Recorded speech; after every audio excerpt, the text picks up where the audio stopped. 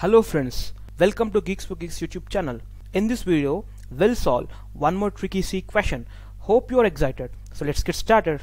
I don't know what you feel by looking at this question, but this is also one of the, it is not asked anywhere, but I love this question like anything. Uh, here what I have did, so if you feel that I am taking just blank spaces and if you don't know that logic, so you will feel that it is a compile error. No. If you carefully observe, it is not a, a blank space, it is an underscore and if you know and if you learn C language properly in a correct manner in the rules of defining a variable underscore is also completely valid variable valid variable name in fact.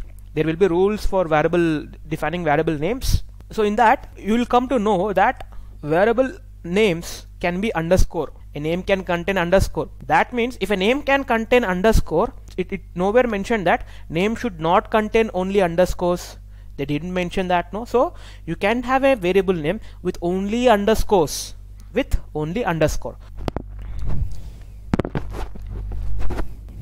Of course you cannot take only digits. It will uh, create ambiguity. So what I am doing is that here I have take one underscore equal to some value. So here I have taken two underscores. Here I have taken three underscores which is equal to one underscore plus two underscores. Okay so just like a equal to 1, b equal to 2, c equal to a plus b. Here I am defining names by varying number of underscore. 1 underscore will be acted as one variable name, 2 underscore will be acted as another variable name, 3 underscore is acting as some other variable name like abc.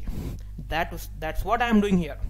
Okay, so variable names are completely with underscore that is perfectly alright so it's not now you can take something like this also. So why can't you take something like this? Uh, triple underscore equal to single underscore star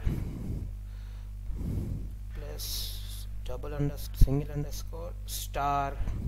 So they will give something like this also. So what you should do just replace with abc so that you can easily solve the question. So output will be 1 underscore 2 underscore 3 underscore. So 1 2 3 is the output okay. So what we have learned here?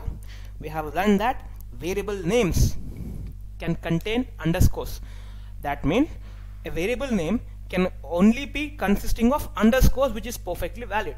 That is what we have seen that's it friends. Thank you for watching the video. I'm pretty sure that you would have enjoyed this video. So please like it share it with your friends and do subscribe to GeeksforGeeks youtube channel for regular updates like this. So thanks for being with us. Have a great day